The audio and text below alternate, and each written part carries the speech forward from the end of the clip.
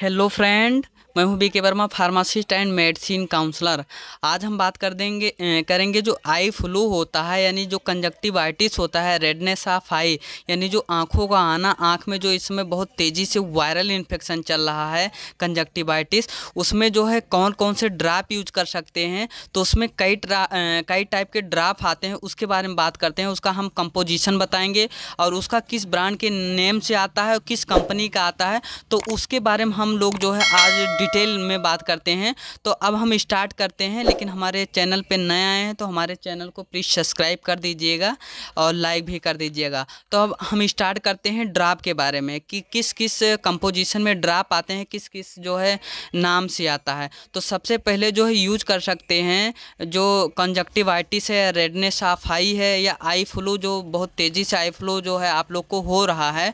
तो सबसे पहले अगर मीडियम इन्फेक्शन है, कम मतलब मतलब बहुत माइनूट पार्टिकल में जो है आई में इन्फेक्शन है। तो सबसे पहले ड्राप आता है सिप्लाक्स यानी सिप्रोफ्लाक्सासिन ये सिप्ला कंपनी का आई ड्राफ है तो इसको यूज़ कर सकते हैं। उसके बाद आता है सिप्लाक डी। सिप्लाक डी में जो है सिप्रोफ्लाक्सासिन एंड डेक्सामेथासोन कंपोजिशन, दो कंपोजिशन मिस करके ये बनाया गया है सिप्लाक डी। ये ये होता है थोड़ा बहुत हल्का रेडनेस हो, सॉइलिंग हो तो उसमें यूज़ कराया जाता है। और आगे नेक्स्ट ड्राप की बात करते हैं तो महाफ्लाक्स ड्राप आता है, जो मॉक्सी फ्लाक्सासिन ड्राप होता है।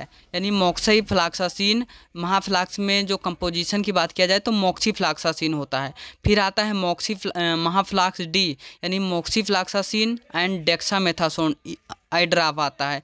उसके बाद जो आता है, अगर आँख में बहुत तेज़ी से दर्द हो रहा है तो महाफ्लाक्स केटी के नाम से आता है। इसमें कंपोजिशन जो है मॉक्सी फ्लाक्सासिन कीटोरोलैक होता है।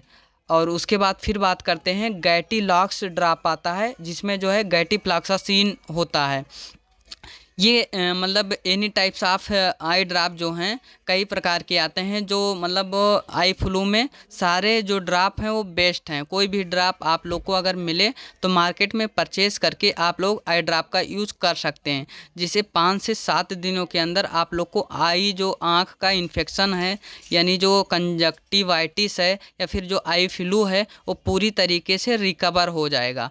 तो ऐसी वीडियो जानकारी के लिए हमारे चैनल को सब्सक्राइब करें और लाइक करें। करें लेकिन अगर कोई भी ड्राप या कोई भी दवा लेते हैं तो विदाउट डॉक्टर प्रिस्क्रिप्शन पे ना लें। जब भी आप लोग लें तो डॉक्टर के प्रिस्क्रिप्शन यानी डॉक्टर के पर्चा पे ही दवा लें। तब तक किसी नेक्स्ट वीडियो मिलते हैं। तब तक thanks for watching thank you दोस्तों। Thanks for watching SR Medical Line.